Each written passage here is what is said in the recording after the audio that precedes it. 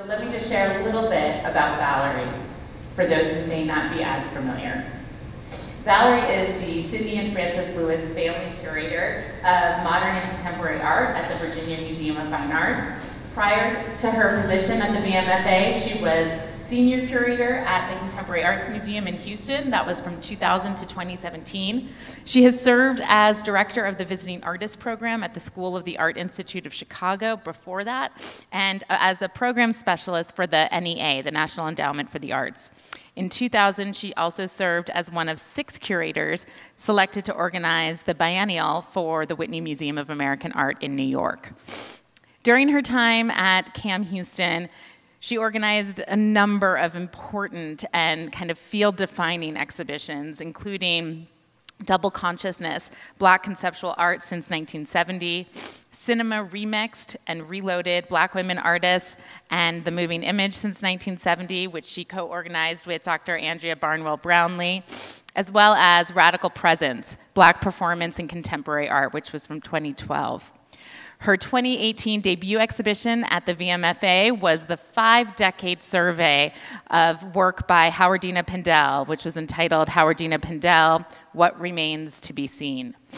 Since joining the Virginia Museum of Fine Arts, she has also organized the exhibition Cosmologies from the Tree of Life, which featured over 30 newly acquired works from the Souls Grown Deep Foundation. She is the recipient of numerous fellowships and awards, and I think we are certainly in store for a really illuminating and lively conversation between these two women. So join me in welcoming them to the stage.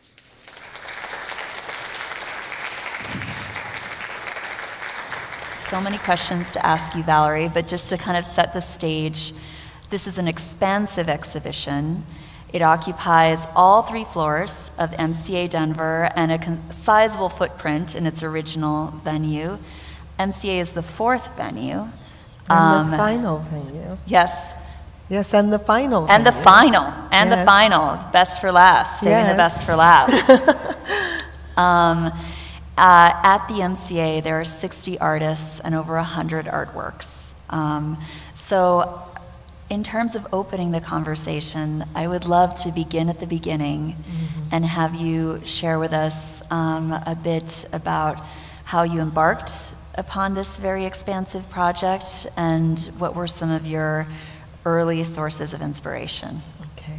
Well, first and foremost, thank you um, for the many conversations. This is our first public conversation, yes. but we've had many conversations over the last. Well, we've known each other for a long time. So, mm-hmm. but uh, as it relates to this exhibition, certainly over the past year and a half. Mm-hmm. Um, so I'm very thankful to you and for Nora for having the vision to bring it uh, here to Denver. It uh, is an exhibition that had its genesis when I lived and worked in Houston.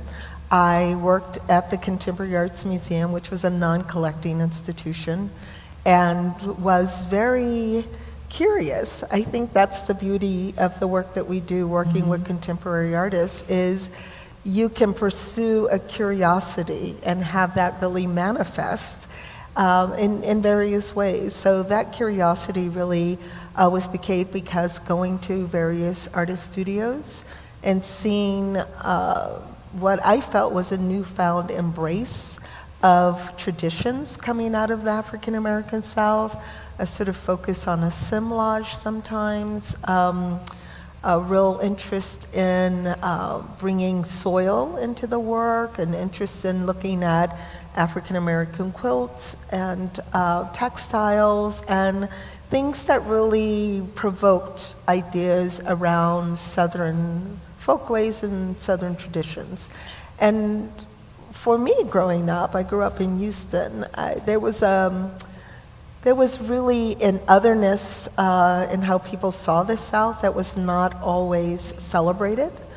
Uh, and oftentimes it felt uh, almost if one wanted to shy away from being Southern. You wanted to be quote unquote sophisticated. Mm-hmm. You know, you mm-hmm. didn't want to be from the South. That it was sort of marred with um, a moniker of sort of, sort of regressive uh, regression. Mm-hmm. Uh, and so to see this sort of newfound bravado around being Southern was very interesting to me and really trying to get at the heart as to what was driving this new new wave uh, for artists. And um, I think it was clear to point to Southern hip hop mm-hmm. as being an impetus to embrace one's Southernness mm-hmm. uh, and to understand uh, traditions that have been preserved and remained and have evolved over time as being um, traditions that have much to teach contemporary art and contemporary artists and contemporary society. Yeah, I love that you often point to this quote by Andre 3000 the South's got something to say. That's right. Um, and this signaling this turning point in terms of popular perception of what the South has to offer and what it could be. Exactly. Yeah. Yeah. Yeah. And I think the artists felt that way and had felt that way for a long time, but finally had a um, an avenue and a and a I'm not sure if I'm going to find the right word. Um, felt that their their feelings were were valid and mm-hmm. had now a new platform at which to stand to say this is a new South mm-hmm. that's fashioned from the old South. Uh, that carries with it the weight of all of the rootedness and groundedness and repository that have been left for it, a, a virtual storehouse, mm-hmm. you know, of things to pull from um, that were time tested and true that had remained. Uh, and when you stand on that kind of truth, you know, it's, it's unshakable. And there was just a real sense of ownership of that, which I loved. Yeah, so one of the, so the opening theme in the exhibition is that of landscape. And actually, I, I should say overall, there's this deep sense of rootedness um, that runs throughout the show, and there's a gorgeous Hundel uh, photograph called Roots that I love. Um, but I, I was wondering if we could talk about you, an artwork that you said played a pivotal influence on your thinking about the show. And it is, in fact, sort of the opening note or the opening salvo of the show, and that is Allison Janae Hamilton's Wacissa. Mm-hmm. Um, and it was a very intentional move by you, your part, where when people enter the galleries, it's the first piece you encounter. Um, could you share a bit about how you decided to begin there? Uh. Well, I met Allison uh, when she was an artist in residence at the Studio Museum in Harlem, and she was uh, she's from Northern Florida, and works a lot with sort of notion of uh, spiritual constructs, haints, and this idea of ghostly presences that exist in the landscape. Um, and she had not only a series of photographs and series of sculptures, but she showed that particular video of, of uh, Wacissa and it is a river in northern Florida, which uh, oftentimes is referred to as the slave canal because uh, people in bondage helped to dredge it further, you know, by hand to open it and expand it and deepen it so that goods could travel um, across the river and, and, and for commercial purposes. And so uh, it had still this residual uh, energy around it. And that even in contemporary times, um, it was being used as a runoff for the turpentine factories. Mm-hmm. So you had this sort of um, language and concern around injustices that span the arc of time, uh, but that was definitely about uh, place and about geography. But what I loved most about it was this um, sense of um, uh, disorientation that one at one point it's unclear uh, whether you're looking uh, up or down, uh, which way the camera is pointed, but then also a kind of spiritual arc, and that fed into that this notion of disorientation, uh, but also water and what water. Um, brings to mind what it evokes. It is a point of entry, certainly, for black bodies coming across the ocean, the Atlantic and being transplanted into the United States. So that was one way. It was about the beginning of a journey, um, but it was also how water still connected and not only connected us to other land masses connected us to Africa, but also connected us spiritually between the physical and the spiritual realms as well. Yes, and I should say there's a slide of uh, Wacissa behind me, um, and it exemplifies how at the VMFA mm-hmm. you entered the space, you saw Wacissa, you turned the corner, and sort of continued your way through landscape. And, um, and you've talked about the theme of baptism mm-hmm. Mm-hmm. in association with, with, with Wacissa. And so when you see this video, you're t- it's like you're turned upside down, you're moving through the river, but your head is submerged, sort of that moment of, uh, you know, immersion in water. Exactly. And um, it's funny, we always draw from our own backgrounds. I'm, you know, I'm, uh, I was raised Mexican Catholic, so it's, to me it was, I think, baptism, I think purging but I, or like the purging of sins. Mm. Um, but I loved actually a quote you shared with me the idea of preparing yourself. Like exactly. a baptism is an act of, it's a cleansing and it's a beginning, but it's also a preparation. It's true. It, it, it is to cleanse the spirit. I was raised Pentecostal. Uh, and so we know that we go to the river to be baptized. Uh, and it is an act of not only cleaning, but also preparing one for the, the new self the, the re-emerged self. Uh, and so it is John the Baptist preparing the way before. Uh, and so it is about preparation, to be prepared to, to embark upon a journey. Yeah. Yeah. yeah. and there is a very much a journey in the way the show is installed. It's sequential. The idea is that you follow a path, um, but so much of the show is also about points of origin. And I think part of the experience of seeing this show and preparing yourself for the material and absorbing the material is acknowledging so many moments of origin in terms of American history, in terms of art history. Um, I mean, I think of like that, there's a Mildred Thompson wood picture where she's using found materials and uh, thinking of like narratives of American art history grounded in traditions that have nothing to do with New York, with traditional ways of teaching modernism, um, and uh, you know, basically shifting our lens mm-hmm. and what people can draw from that.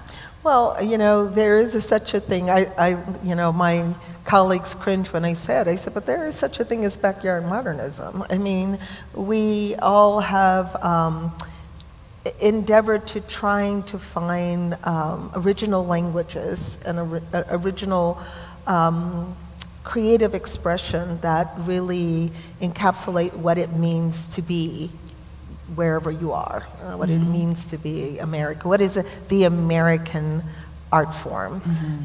You know, what are certain um, original American expressions and art forms. And I always also say that if jazz is the original American music art form, what is the visual equivalent of that? I mean, you would find uh, improvisation, you find the level of structure, you find all of that in, in objects like the African American quilt. So I think instinctively, uh, individuals like Alfred Barr, you know, who uh, was the founding director for the Museum of Modern Art, you know, clearly instinctively understood that there was an American utterance, a creative uh, visual language coming out of America. And that's why, as early as 1937, there was an exhibition by William Edmondson, who was a stone carver uh, presented at MoMA. But it, it is that sense of, yes, looking at points of origins. And I always say, particularly when you're looking at the, the South, uh, the South is a point of origin for our contemporary society, American society today. All of the um, uh, wonderful positive things and all of the things that still dog us that were problematic then are problematic still. And it's just radiated outward, so. Yeah, well, and there's a piece that I think articulates that's that idea of origins so beautifully The Kevin Sipp, Uh, there, it's uh, Take It to the Bridge. Mm-hmm.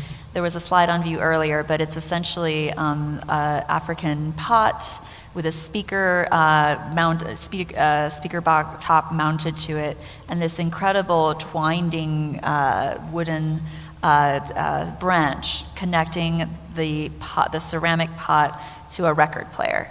Yeah, it's actually the, the, drum. It's an African drum. drum the, I'm yeah, sorry, the drum. yes, the drum. thank you. Yeah. Yes, and um, but basically drawing, um, making visually clear the importance of West African influence on how we think of American music. Absolutely. Yeah. And the tree too, as a element of the land, that also is a connective tissue, mm-hmm. whether it's um, connecting, um, in that sense, the bridge and being a sort of metaphor for connecting Africa and African uh, rhythmic sensibilities to uh, R&B or spirituals or other African American musical genres.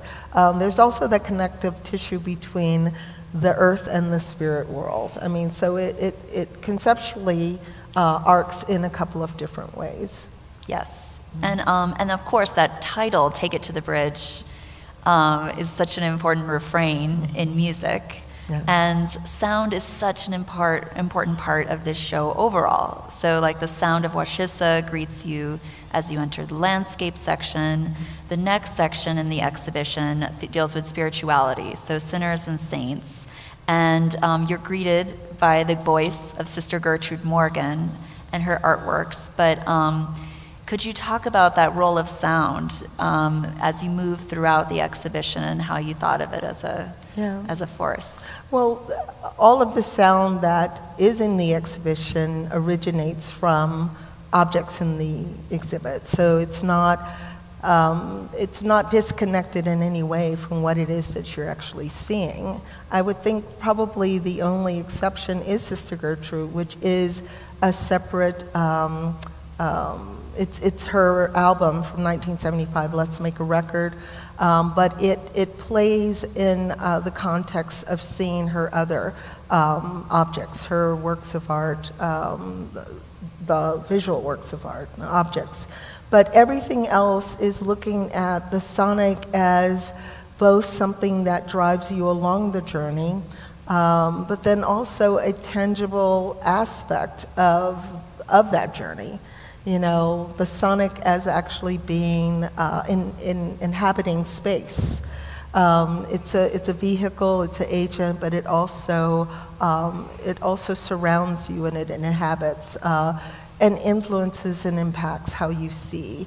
And it is a connective tissue, and that the sonic has been a, a connective tissue for uh, African American expression as it's evolved over time and across geography as well. Yeah. And also, I mean, I have to say, when you're in that space, in the first room of Sinners and Saints, her voice has so much joy. You know, um, she um, believed herself to be the bride of Christ, and that's the subject matter of her artwork. She was, um, she was a preacher. She had, um, she had the um, Everlasting Gospel Mission Chapel. And so, spirituality is a powerful motivator in her work, as it is for quite a number of artists in that section. Right. Um, and spirituality, yeah. not just a, a, kind of Christian sensibility, but understanding spirituality in all of its complexity. I think that's one of the things I try to um, really make clear through the exhibition. Um, the initial iteration was 102 artists, 140 works of art. Uh, being intergenerational, uh, artists working in a variety of genres, artists who are academically trained, others who are not, but really bringing home the level of complexity that exists over time mm-hmm. and across geography, that the South was never seen as a monolith, was never really embraced as a monolith, mm-hmm. but yet from the outside looking in, there is a propensity to flatten it as a monolith. And so when you look at something like spirituality, you have to see it in all of its complexity. Mm-hmm. It's not just the South as the Bible Belt, as a space of Christianity. There are syncretic religious practices. There are people who practice uh, naturalism, uh, other modes of spiritualism. Mm-hmm. So all of those things are reflected in the exhibit. Yes, absolutely. And I love in our iteration, we have um, this juxtaposition of the Renee Stout. Um, she kept her conjuring table very neat, um, which I think really embodies that approach to a syncretic religion, mm-hmm. right next to um, the powerful uh, Rodney McMillian Asterisks in the Dockery. Yes. Um, which is the room size installation in red leather of the interior of a, of, of a chapel. So there's that hybridity and that bringing together. And we should talk about the chapel because for many it's the most um, impactful work in the presentation. Mm-hmm. Well, it, it, it, you know, there's nothing like walking into a room of red vinyl to really provoke a kind of visceral response. Uh, but it is, uh, it's called Asterisks in the Dockery, and it is. Uh, evoking or referencing uh, an actual space in Mississippi uh, in the Delta, um, the Dockery Farms. And the Dockery Farms were previously the Dockery Plantation. And after emancipation, uh, there were a lot of um, uh, tenant farmers that worked there, but there were a, a lot of itinerant laborers that would come. And because it was located in the Delta, uh, you had a lot of itinerant musicians who were moving in and out, who were going from one gig to the next. Uh, people like Charley Patton and Howlin' Wolf and Robert Johnson, uh, who you may know, you know, the, you know, the crossroads. Uh, and so, in that respect, um, this sort of uh, convening, if you will, of all of this uh, amazing musical talent. Uh, sometimes people's stays would overlap and they would uh, share um, patterns and ways of singing and uh, playing with one another. And uh, because of that, it arguably became the birthplace of the blues. And so when you think of someone like Robert Johnson, and um, it's always understanding the blues in the context of the 30s uh, as the, the flip side of the sacred. You know, it was the profane. And either it was Christian music and it was done in um, the um, uh, terms of the aesthetic of the, the, the spirit and of God, or it was the profane. It was considered the devil's music, right? And so Rodney wanted to kind of capitalize on this notion of the, this sort of uh, by, you know, um, this, this sort of line, this demarcation of uh, understanding the profane as the flip side of the sacred. And what he does is he combines it and understands that there's a, a, sacredness within the profane. There are points of origins within the profane, that it, there, is a, there is an ecstatic that comes out of it, mm-hmm. just as one has an ecstatic within the, the sort of religious um, uh, context as well. So it's just the flip side. Mm-hmm. So it is a hand fashioned uh, recreation of a one room chapel. Mm-hmm. Yeah, just on view um, mm-hmm. behind me, yes. So you turn the corner from the, that room on spirituality, and there's a powerful throne by Thornton Dial. And I want to bring up Thornton Dial in part because I know you're very familiar with his practice because of your work with Souls Grown Deep. Um, and Thornton Dial is an artist that received um, a, a, a tremendous recognition towards the latter end of his life. Um, and uh, yet, that as, as a black artist working in the South, there's been this evolution of, and, of terms ranging from folk to self taught. But I've noticed you don't use those terms. I, have heard you say non academic, you know, and I think it's, um, to me, it feels like a fruitful time to sort of revisit these ideas, right, of how artists are framed. Absolutely. You know, I. Um, I think where I try to go, I, I don't really have, uh, I, have tried various combinations of words to try to uh, embrace um, the practices of those individuals who are coming out of the African American South who are not academically trained. I think oftentimes when we say visionary artists, mm-hmm. folk artists, um, outsider artists, we are excising a certain kind of intellectualism that happens within these practices. And, you know, I don't know if it's a kind of aesthetic intellectualism that I'm trying to press forward to say these artists can be in dialogue and are in this exhibition in dialogue with artists who are academically trained. Mm-hmm. And they hold, they hold their ground, and there is such a rich dialogue that an exchange that happens between these artists that um, I really am trying to find ways to elevate those practices because I think oftentimes these artists get short shift in saying that somehow there is an, an ignorance to mm-hmm. uh, or, a lack of concern around the esthetic mm-hmm. or mm-hmm. that there aren't um, very vigorous and very complex concepts they're being brought to bear in assemblage, in textiles. Um, they are actually there.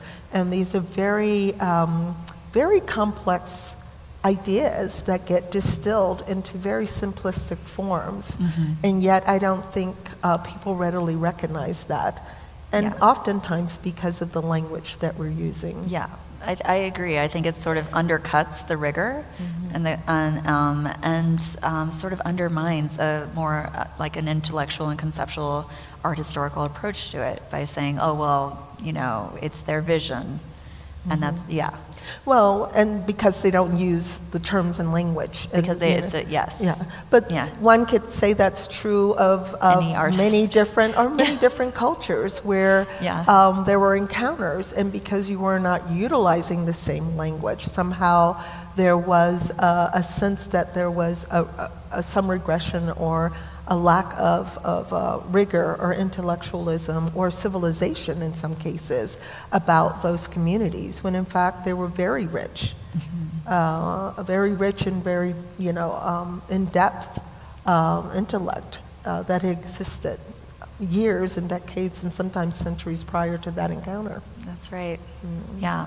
So the next musical bridge we encounter in the exhibition is Nadine Robinson although it's shown in, shown in somewhat uh, proximity to Rashaad Newsome that we'll talk, I'll ask about in a minute. But, and actually, I like that we had fun sort of balancing the sound yes. between the Nadine Robinson and the Rashaad Newsome. Um, but the Nadine Robinson is a very imposing work. Mm-hmm. Um, and it's sort of, for us, the crescendo of the spirituality section. Uh, this is, of course, the organon mm-hmm. um, uh, sculpture made of speaker boxes. Yes. Um, I was wondering if you could talk a little bit about the power of this piece. Well, I mean, first thing that you encounter is the uh, the sort of um, almost like a, a drone, uh, which is a uh, a rhythm, in which sets the tone for almost a procession. And uh, what it's rooted in, of course, are the protests, civil rights protests. And Nadine, who is so masterful at using not only sound but also light works, but she endeavors in understanding how sound can be collaged, uh, how it can overlay. And so, with that, um, she has the, the, the droning of the drum and the procession, and then you begin to hear distorted sounds, uh, almost like uh, the, the spraying of water. Um, you hear the sounds of people uh, crying out. And then you get Handel's coronation uh, choral song that happens above it. And melded with that, the oration and the ecstatic shouts of a minister uh, in the church.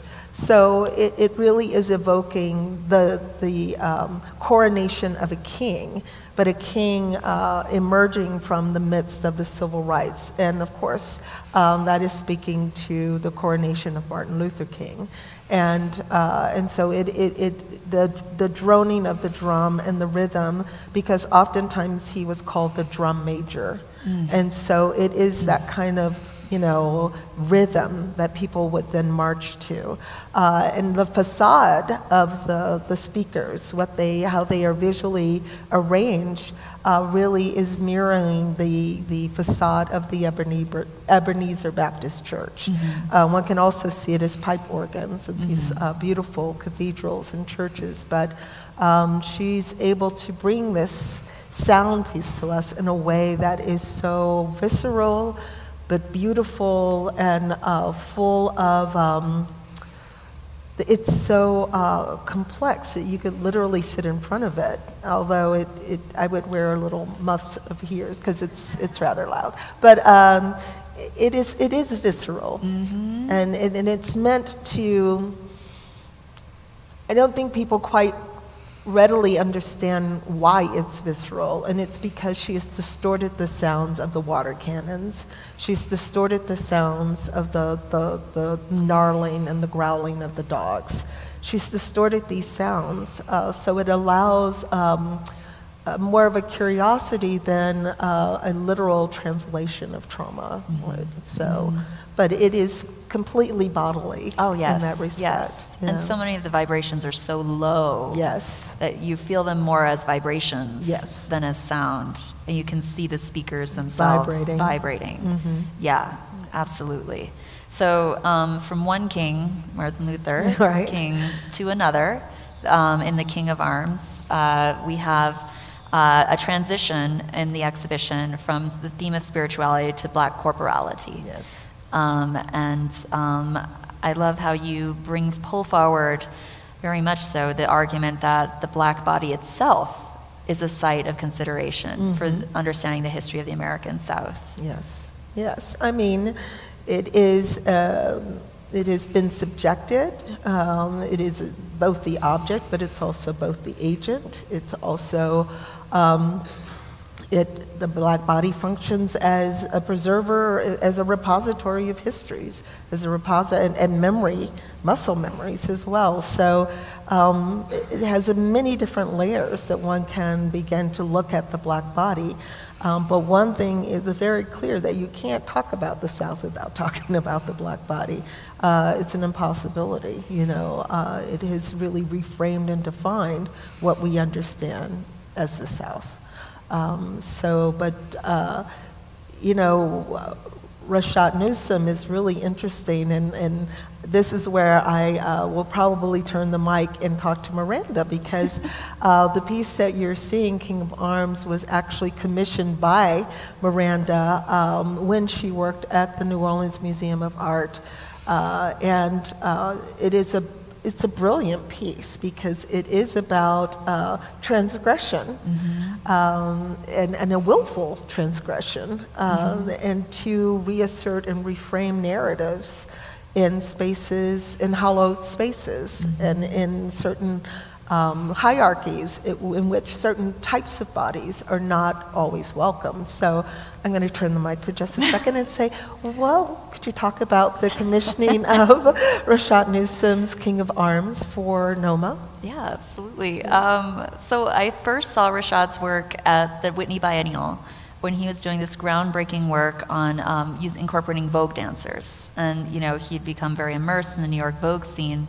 But I remember seeing on the label that he was from New Orleans, Louisiana, which I was like, wow, this artist so deeply immersed in um, the histories of New York Vogue has roots in Louisiana. Um, and so we invited Rashaad um, to ex- explore a project with us. And to me, it was a very powerful example of an artist from a place exploring his own history and reappropriating it and making it his own. Um, so, in the piece, um, Mardi Gras culture is such a huge part of New Orleans. It's it's a season, um, but it also, I mean, really influences uh, how culture is shaped year round.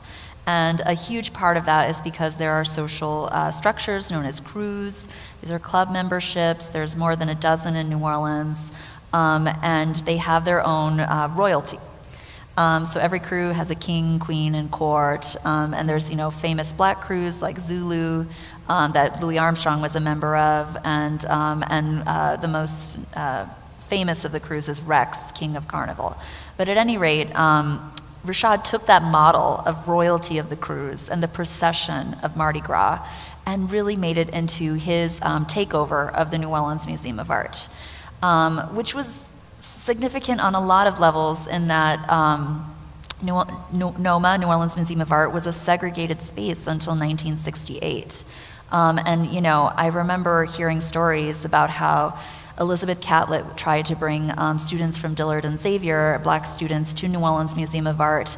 And they put up, there was tremendous difficulty because um, there was this bizarre thing about how the park was segregated, the museum technically wasn't, so the students couldn't touch the soil of the park in order to enter the building. Um, so it was, you know, a space with a lot of um, deep, complex history. The site of the museum itself is a former plantation.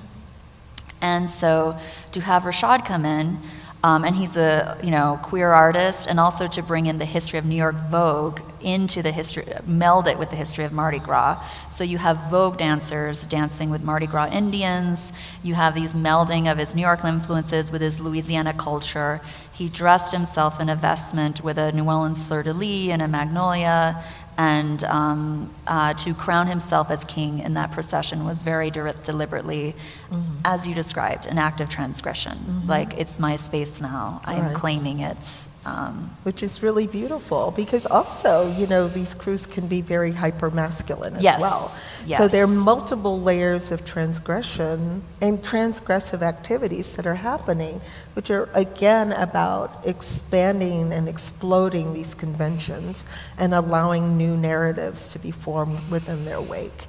Yes. So um, I love that the. Um, that the refrain that one hears, the choral that one hears, is takeover you know, uh, and it's like, yes, it is an absolute reclaiming, a reclamation. Yes, yes. And I had a colleague say, What is that beat? And I'm like, Well, it's a hybrid of New York Vogue and New Orleans Bounce. Right. So that's probably why you don't recognize it. Right.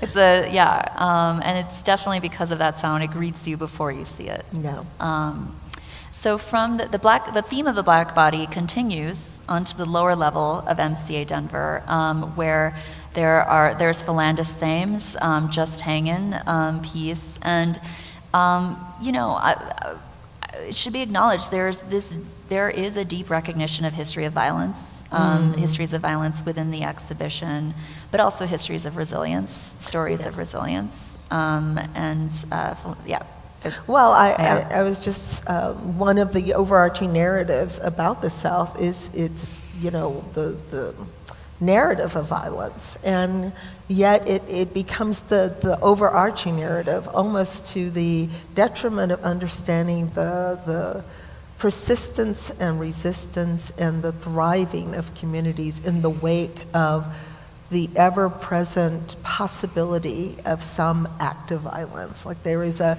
there is a defiance, like the, the idea to choose to survive. I mean, oftentimes there is this statement, uh, you know, really related that we are the we are the uh, descendants of those who chose to survive. It's oftentimes uh, discussed in relation to the Atlantic slave trade, but I think it's also apt for understanding the South in a moment where any action could be seen as transgressive and, and uh, dealt with in a very swift and a very um, uh, uh, severe way.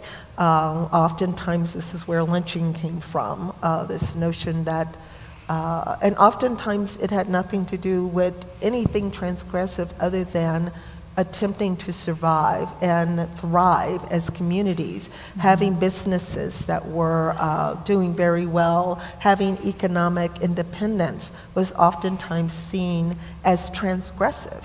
And so uh, there is this notion that the mere existence and um, the insistence uh, of being present and, and being seen is, is an active, it's considered a transgressive act.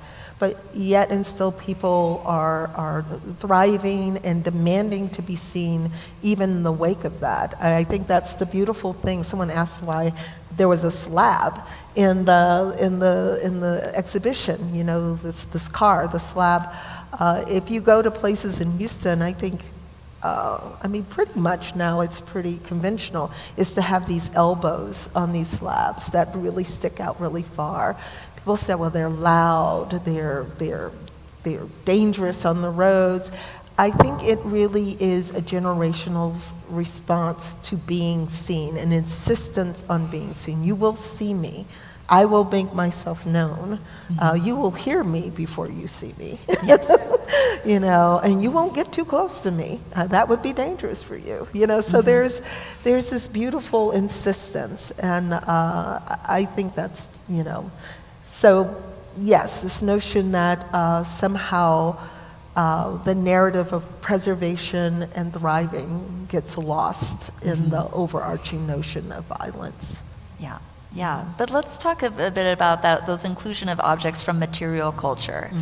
And um, because one of the, the work, part of the work that this exhibition does is really discard boundaries, um, as you described before, between quote unquote academically and non academically trained artists, but also between um, objects that might be traditionally considered um, not works of fine art, more in the realm of um, visual culture or um, historical ephemera.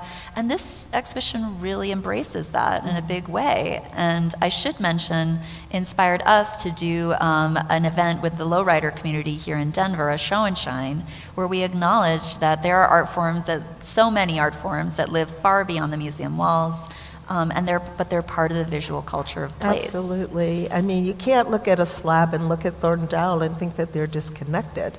I mean, it is an extension of these practices that uh, are being brought to bear. It's its sensibility uh, that's being brought to bear. Uh, there are other objects that are featured in the exhibition, things that I love to call power objects. These are the residuals of uh, the residual of, of uh, a performance uh, that remains. Uh, you have the horn of Ornette Coleman, his saxophone.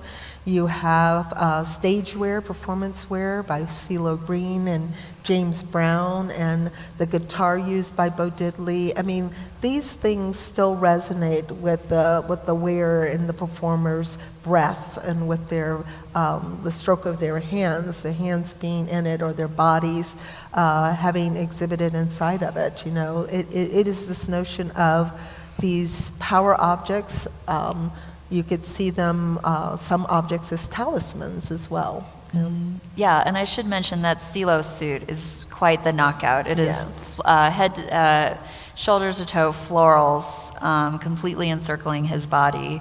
Um, I could ask you this about every object in the show, but could you share a bit how, about how you landed on CeeLo's suit?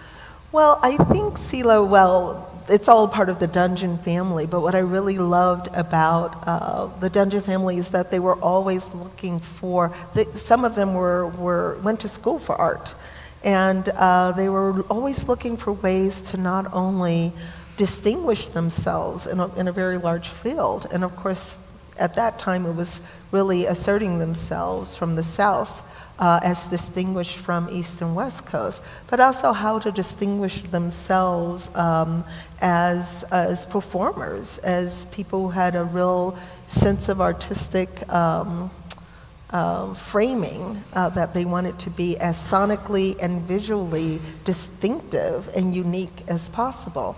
I think CeeLo Green, out of all of them, uh, has really pushed this needle as far uh, visually as I think, um, I mean, he and Missy Elliott, I think, are somehow side by side in pushing not only the sonic but the visual manifestation of those concepts. And this was the X Factor that was uh, on television in the UK uh, where he donned a flower suit, but he has shown up places like Metallica Man, you know, the Metal Man. I mean, he really does play a lot with uh, concealing the body uh, in ways that allows him a certain kind of freedom of being, which I mm-hmm. think is so astounding. Bless yes. you. Yeah. So the suit is on view in the Cabinet of Wonders, where there are a lot of incredible objects from musical history and work by visual artists.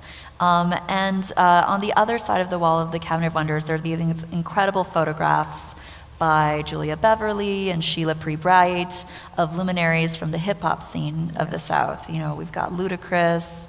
Um, you know, um, could could you talk a bit about those selections? Well, I yeah. I definitely wanted to give a nod to hip hop. I mean, oftentimes people see the title of the exhibition, and the assumption is that it's a show dedicated to hip hop, when in fact it's really about what Southern hip hop has allowed us to embrace and, and, and to come back to these traditions with newfound lens.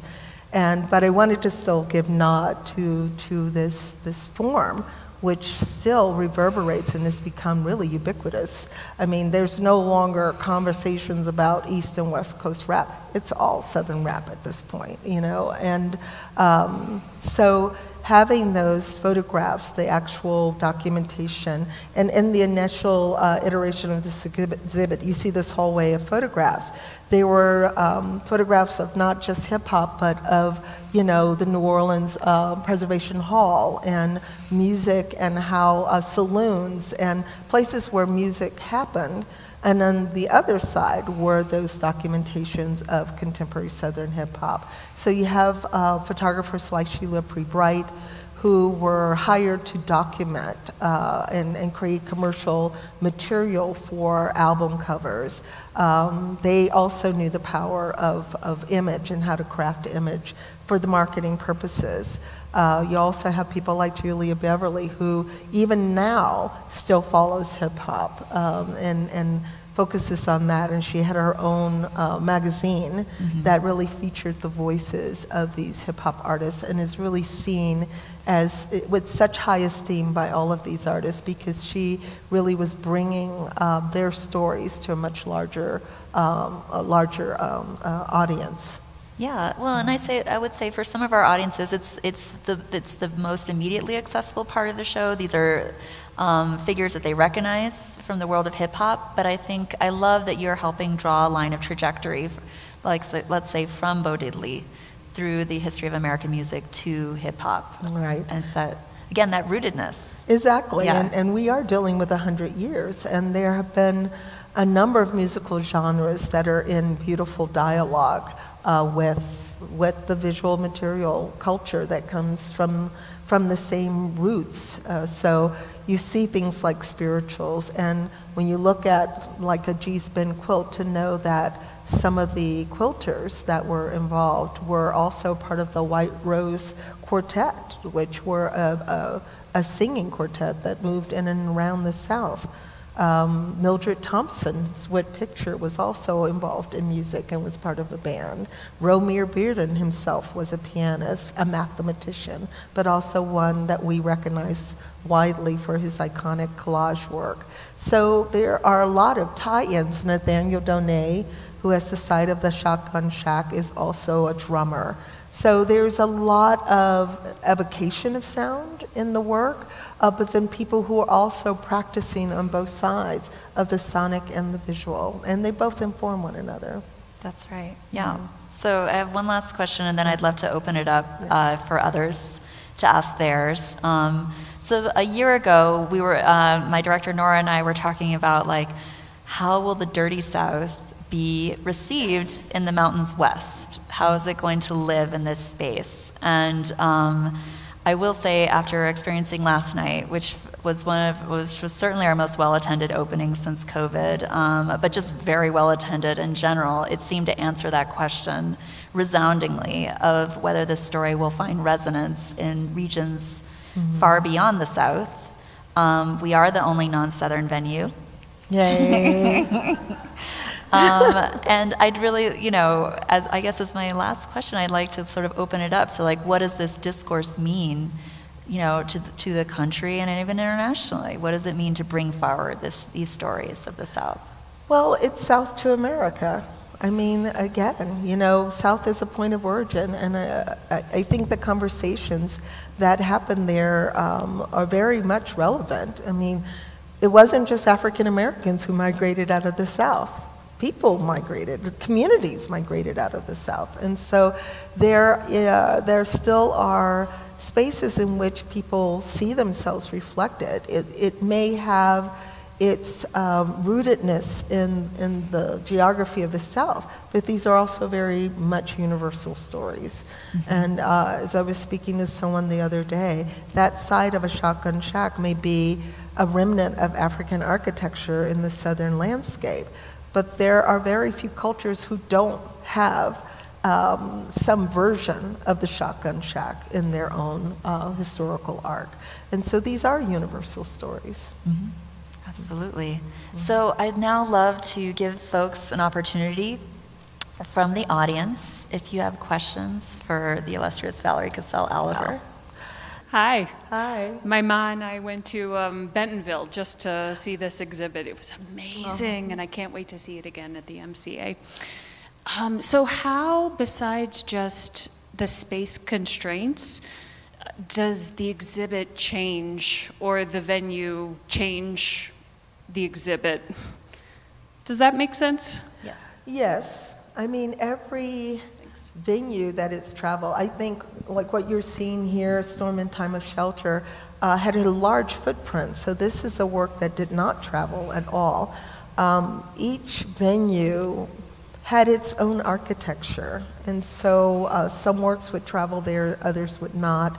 Um, but what I love and what I love about the uh, MCA is how each venue, still adhering to these sections, will have different configurations of artists in conversation with one another. So it may not have been the initial iteration of how it was presented in Virginia, but of course, it, it offers something even new for me as I walk through these spaces and I see new juxtapositions of an artist who's now in direct dialogue visually with another artist that may have been in a different room. And so it, it is really wonderful to see uh, the things that come to the fore as it shifts and changes from one space and architecture to the next to the next. Mm-hmm. You're welcome. Absolutely. This was the most wonderful show that I have seen in a very long time. And it excited me so much that I am just thrilled to be an artist. But I wanted to know, based on the last question, how many artists were not represented in MCA? And if the catalog represents those artists as well? Yes, the catalog uh, presents all of the artists in the exhibition. There were initially 102 artists, and at the MCA there's 90. So there are 12 artists who are not represented, uh, some of which have been previously presented right. at the MCA. So there were some hard and fast choices to make. Jason Moran, for instance, was one of the artists in the exhibit, but you were just regaled with his amazing work here. Nari Ward uh, is another artist, uh, Paul Stephen Benjamin. Mm-hmm. So there are a number of artists who had previous presences here. Uh, Arthur Jafa, um, that were in the original iteration, but not in this particular presentation. Yeah, it was a hard call, but we did, um, as you said, Valerie, like because we knew we had to edit t- t- terms of space, there were certain artists who had had recent solo presentations. Right. Yeah. Mm-hmm. That, Thank you. Yeah, mm-hmm. no. Mm-hmm.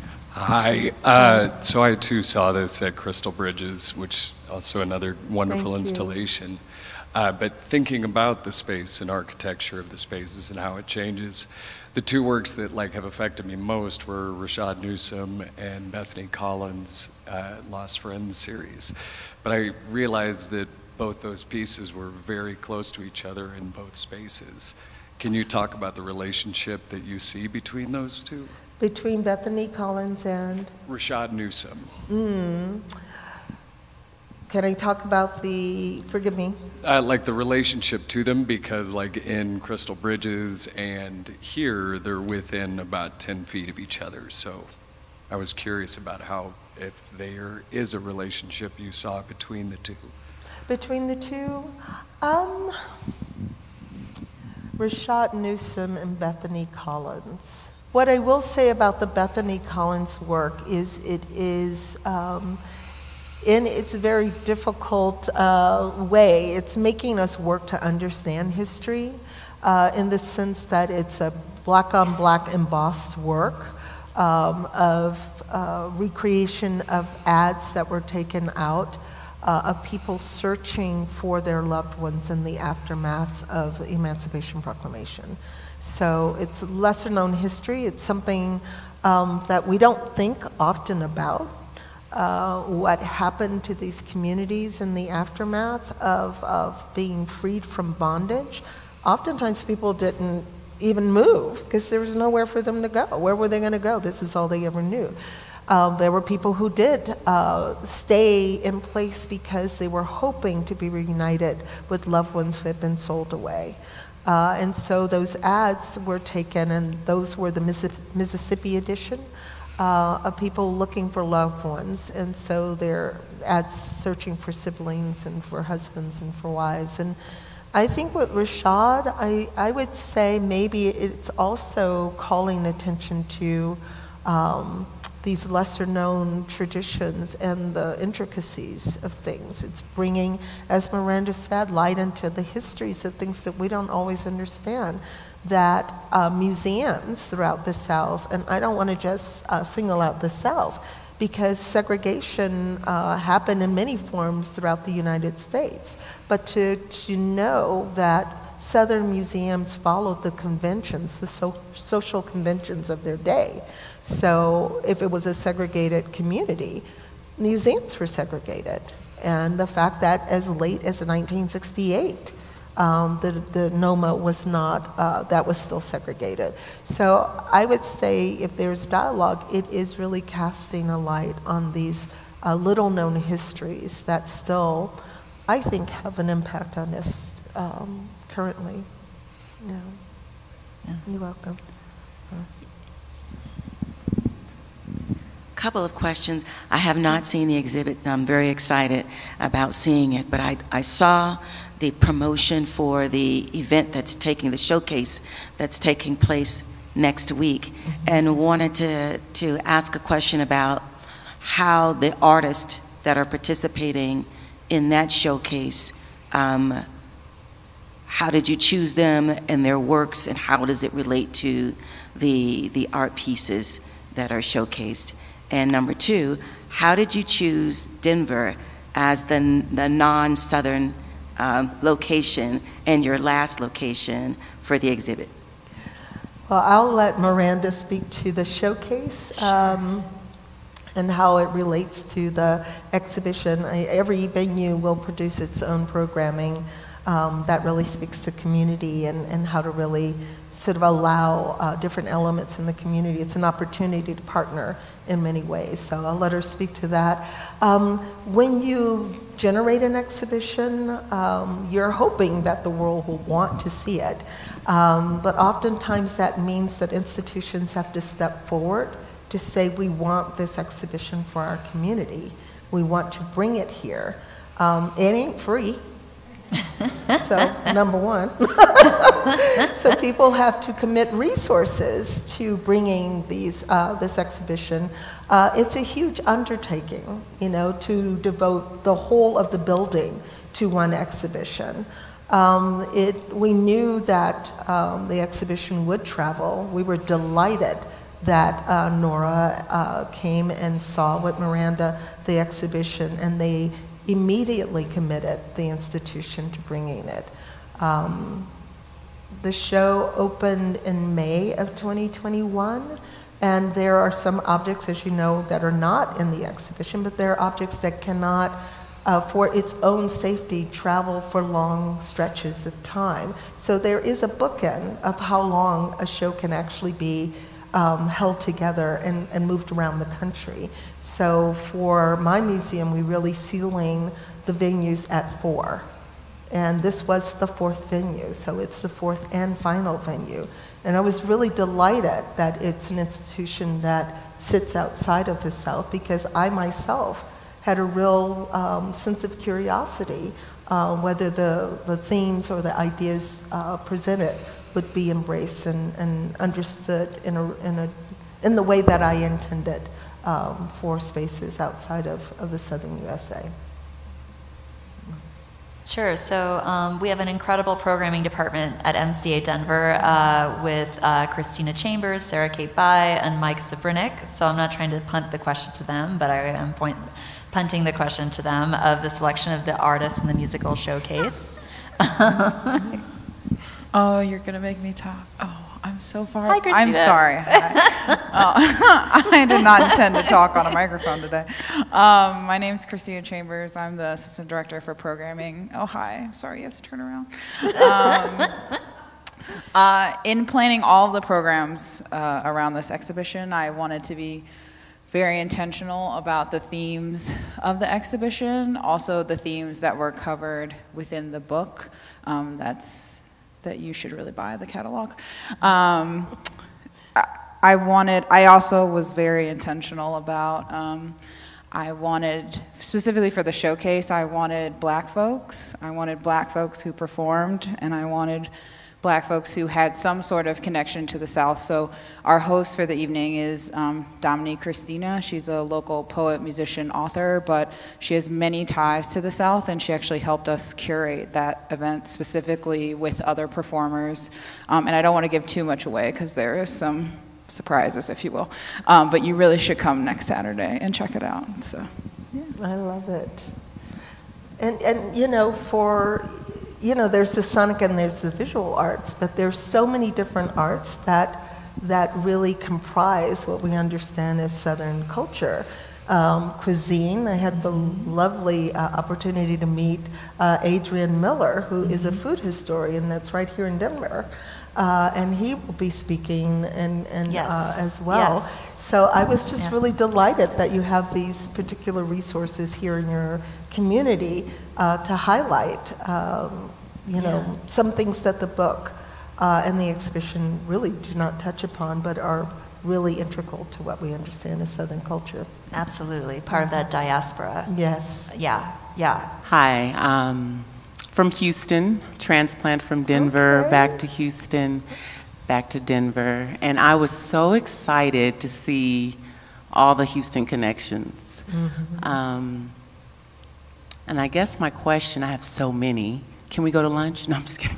Um, African spirituality, um, that piece, how did you tie it in?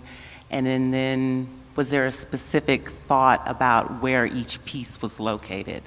So Dubale was located in one spot, the conjuring table, and then when you think of the slave and the water, Emoja. So how did you place all of those? Was that intentional, or is it just, again, the building and it ended there because of the way the building is shaped?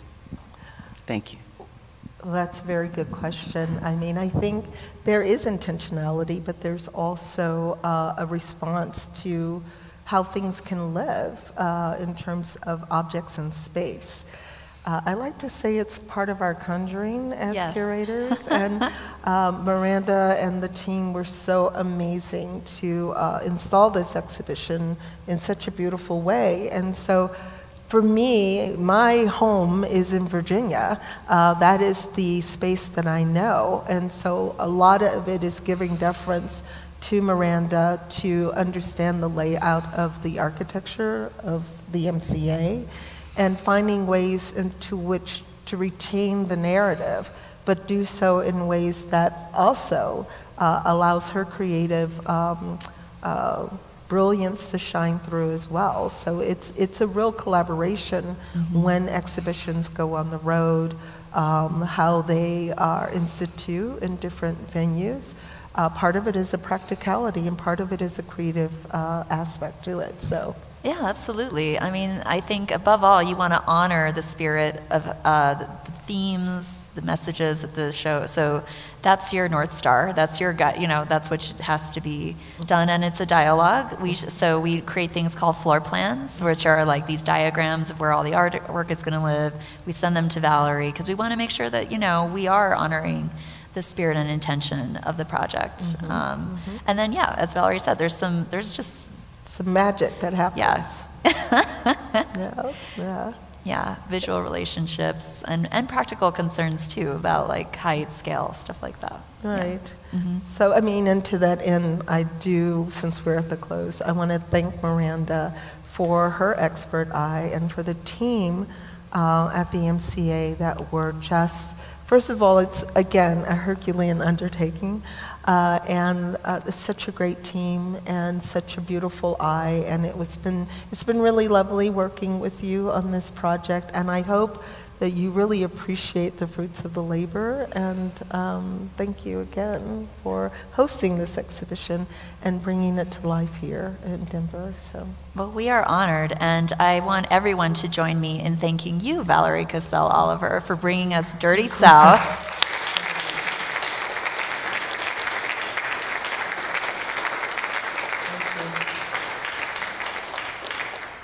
monumental. We'll take good care of it. Excellent. and thank you everyone for coming. I hope yes. you have a great rest of your Saturday.